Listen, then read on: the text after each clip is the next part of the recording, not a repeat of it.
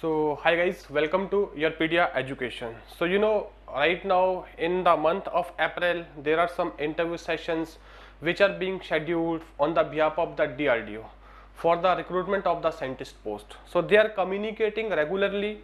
So there are many students who are asking, sir, we haven't received yet our interview call letter and we are not able to download. So on 6th of April, they have updated on their website and the updation is like that.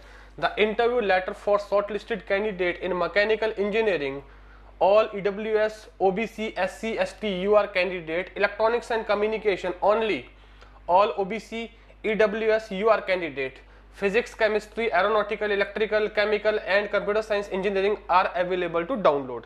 So they have written clearly the interview for remaining candidate in electronics and communication engineering will be scheduled in due course of time. So guys this is a very small update from the DRDO and this was updated on 6th of April.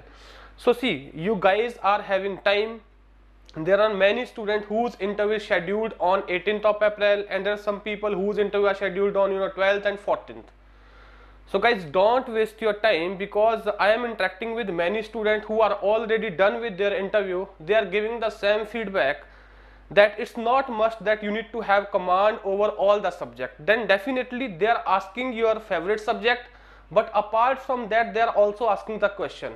But I suggest you all if you are telling them that these are my subject in which I have a good command if you are able to make justice in those four subjects definitely they will ask questions from other subject also but four to five subject you must have really a good hold and your basically alignment or your preparation should be toward the practical studies.